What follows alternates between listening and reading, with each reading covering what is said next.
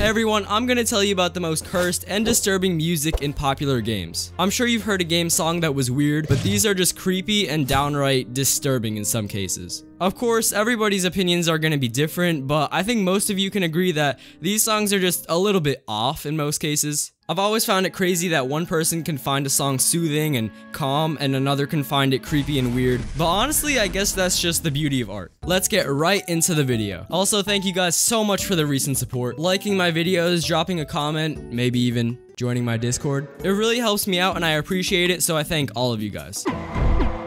The Dark Interlopers. Zelda is a series that many people love, especially after Breath of the Wild on the Switch. But if you haven't played the older games, basically Twilight Princess has an infamous scene that's known for being basically the most disturbing cutscene in the entire Zelda franchise. The protagonist, Link, is faced with his dark side. Dark Link. You would have never guessed, right? And he ends up getting destroyed by all three of them. All throughout this, the previously mentioned song starts to play, called The Dark Interlopers, and it just adds so much to the environment. You really feel the tension building up until Link just disappears, just into thin air, but even weirder, his eyes start to roll back, and he starts screaming uncontrollably, where the music just gets louder and louder and more dramatic until eventually fading into somebody's mysterious laughter quite the weird one if you ask me. It's a very nice cutscene. It's uh there's there's nothing really wrong with it.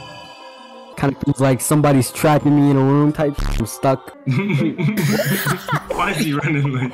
oh nah, bro. What? Black Link. Oh yeah, nah, yeah, nah. So, It looks like one of those Indian videos you see on TikTok, and you can't even make out what the f is. Prayer. Silent Hill is a horror-based game, so obviously it makes sense that there are gonna be some, you know, scary, creepy, ominous tracks in there. But in my opinion, this one kind of tops most horror game music and is just literally insane. And it really captures the feeling of being scared by a piece of media. Like, the whole Silent Hill franchise is really good at scaring you, basically. This particular track, Prayer, plays when you are fighting the fourth boss in Silent Hill 3 and features creepy vocals, tons of reverb, random sound effects, and what sounds like a monster who is saying random stuff into the mic.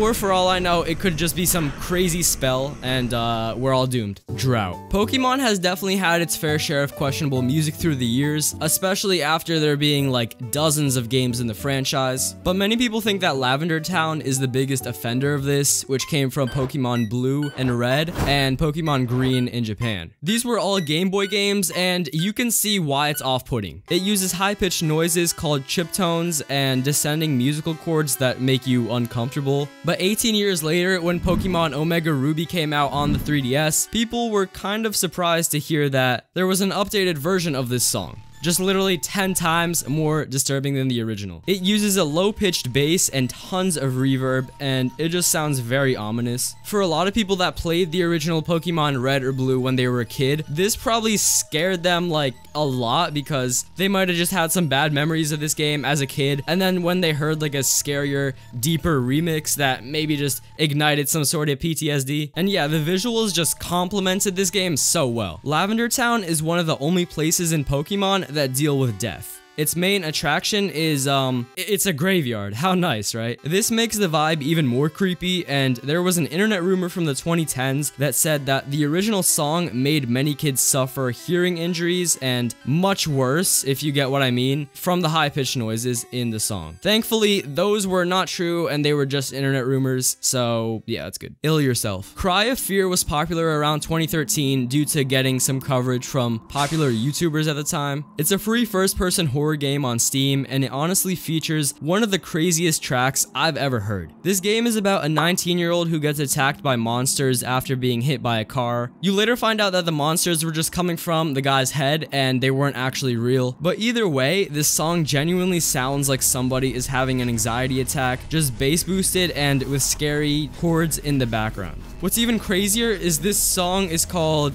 Ill Yourself. Just take a listen to this one, and I hope you're not in a dark room like I am right now.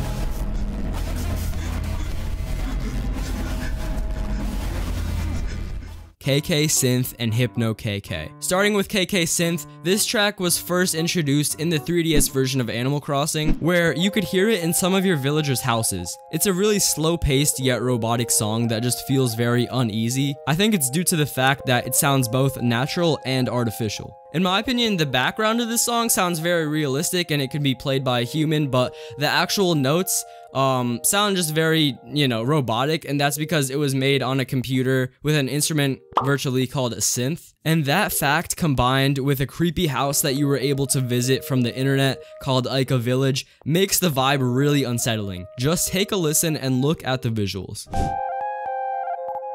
Ain't this game for kids? Oh, this is the Wii version. Avatar? I swear Stunz has that. What the fuck? Oh, ah, this is wild. This is weird. What? What is this music, bro? You stuck in a place and it just keeps repeating. And you don't know what the fuck going on. Nah, yeah, bro. I'm gonna give it. I'm gonna give it an eight because I'm scared of dolls. I'm, I'm gonna give it a nine. Hypno KK is also a weird song, but it's ironic because they were actually going for a vibe that you could fall asleep to, which listening to it, I don't know how they came to that conclusion, but whatever. I personally hear it being way more dark and sinister. I mean, what do you guys think? Is this creepy or calming? Let me know in the comments, maybe I'm just crazy. Sayonara. Doki Doki Literature Club is a visual novel game released on Steam in 2017. It definitely isn't a game for everyone. Personally, I've never really been able to play these types of games because I don't really find them too interesting. But from what I can see, there's a very immersive scene that completely scared the crap out of everybody that played it. I'm going to have to blur out most of this scene because there's some not so nice contents uh, involving a rope, if you get what I mean. But yeah, this distorted music starts playing as soon as the cutscene plays, which is creepy because it takes the main game's basic theme song and changes it from happy and uplifting to scary and distorted. This is the regular song. And this is the song that plays in this creepy scene. And yeah, the song changes from distorted in the beginning, transitioning to out of key bells with reverbed vocals that make it even more uncomfortable. I've seen people that were really messed up after this scene and just straight up called it a day after witnessing this. I bet. What the f What? So dark. What? And then like the music like yeah, the music's that just is weird. so disturbing, bro. Yeah, nah, dude. Nah, I ain't gonna lie. This song. I give it a, a six. This is a ten. This is scary. a I, ten. I, I, yeah, I think this is like the top of the It's top tier, top tier, fucking disturbing. Disc 13 and 14. I'm sure you've played the popular horror game, um, Minecraft. Besides from all those nostalgic memories of me playing Minecraft on my Xbox 360, there were definitely some more creepy ones. Like the music in Minecraft is so powerful. I'm sure you immediately recognize the calming track being played in the background as we speak. That being said, the music could also be used to drive mad anxiety into the player. And it doesn't help that my Xbox 360 was in my basement that was cold and there was a flickering light in the back of the basement which would make me look over my shoulder every 5 minutes. But in specific, disc 11 and 13 are definitely the weirdest and there's still a huge mystery because no official explanation has been made by Mojang in Minecraft's 13 plus years. You can find these discs in various places in the game and play them by crafting a jukebox. And if you haven't heard of these songs prior to playing the discs, you'll, you'll be in for a treat and be surprised to hear how eerie it is. Just listen to the reverb of track 13 combined with its low frequencies.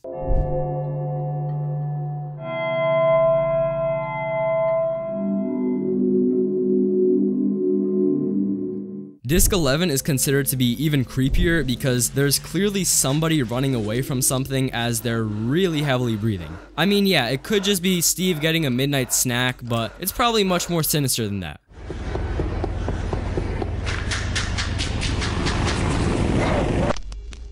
Playroom's music. Shadow Man was an N64, PlayStation 1, and Dreamcast game that was released back in the 90s and then remastered in 2021. It's an action-adventure game that was based off a comic book series, and there's one level in particular that still haunts many players to this day. The Playrooms is what I'm talking about. All throughout the level, you're in a dark dungeon that you have to progress towards. Once you reach the end, there's a seemingly innocent playroom which is bright and colorful. However, the creepy music from from the beginning continues into this innocent room. This basically makes you not feel satisfied at all, and it still makes you feel that there's something bad about to happen and something weird going on, combined with the fact that there's screaming and crying in the background of the track. There's also a rubber duck being squished, and the song eventually transitions from happy to mysterious and back again. I mean, it's just having a joyride of emotions, it just will not stop. Nah, I think it's I think it's disturbing. It's not scary, but it's hella disturbing. Giygas. Earthbound, or known as Mother 2 in Japan, was released in 1994 on the Super Nintendo. It's another role-playing game, and it's interesting because it was rated kids to adults, the equivalent of E for everyone today, but was changed when it was re-released on the Wii U. They changed it to T for teens, which probably should have been the rating all along, even though I know most people, including you guys, probably don't really even pay attention to that. But anyway, yeah, let's jump back to this music track, and it plays particularly when you're in a certain boss battle. I mean, this song is literally a jump scare. Halfway through the song, there's a random loud noise that switches the track from happy and it's basically a lullaby to a scary ambience. And within this one track, the tone and mood basically changes four different times, going from mysterious to happy to scary to back again. I mean, this just isn't the type of game where you would expect to have a literal jump scare in the middle of a boss battle, and it's kind of crazy that kids actually played this game. Boss Music. Sonic CD was a Sega CD game released in 1993, and it's notorious for having many differences between the Japanese and North American version. The main difference is the music especially, which is largely changed in the American release. And for a game that's supposed to be played by kids,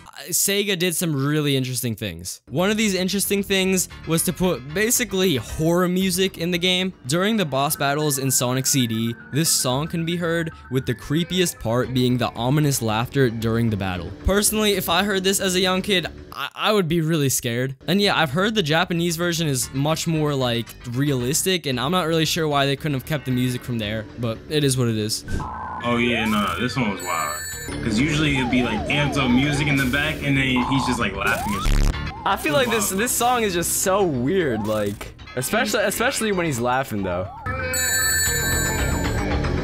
Who are you? Seriously, who who are you? Hit the like button. In Final Fantasy VII, there is a mysterious room that you can go into that plays a very disturbing song. This is one of the lesser talked about songs on this list, but I think it's just as disturbing as the others. Coming out in 1997 on the PlayStation 1, Final Fantasy VII was a role-playing game, and it featured a lot of different lore. This particular scene that I'm talking about was actually optional and not required to beat the story, so some of you that played it might not even remember it. But yeah, here you go into this mysterious room, and there's happy music leading up to the event, so, you know, it, it doesn't seem like anything is wrong. Then all of a sudden, there's just this high-pitched screech, which is scary, and there's a flash on screen accompanied by musical notes that switch between high and low frequencies. Cloud, the main character, sees a ghost and ends up passing out on the floor after thinking about his previous decisions in life. What a vibe. Then, while he's unconscious, the text on the screen says, you can't change anything by just sitting back and looking at it. Before being slapped back to consciousness and nothing really explained why that happened. Looping Stairs. You probably didn't expect to see a Mario game on this list, but here it is. A series known to be enjoyed by kids all around the world also scared them half to death in 1996 on the Nintendo 64. As you climb these big red stairs, if you don't have 70 stars collected,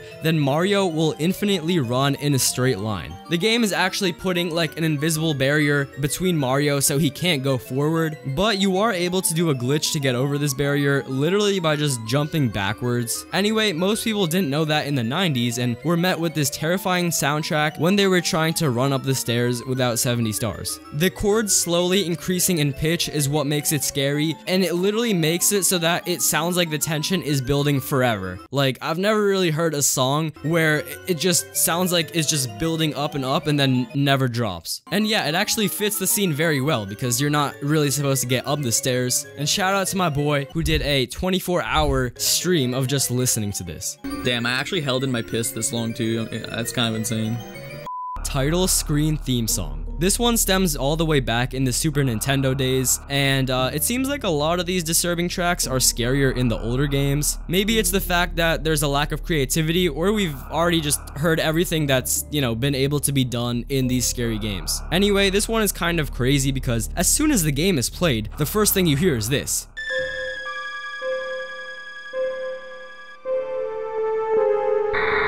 And this is before game ratings were set up, so many kids actually bought this game not knowing how scary the Metroid games are. They don't have any jump scares either. The developers just crafted an amazing ambience and atmosphere that made it very scary, and the music really helped with that as demonstrated by this one. I hope everybody enjoyed this video, and thank you so much for watching until the end. I'm sure you'll like my video on the Bad Games Iceberg here, or you can, you know, maybe click on my most recent upload here. Make sure to drop a like, comment, sub. I love all you guys. I'm out.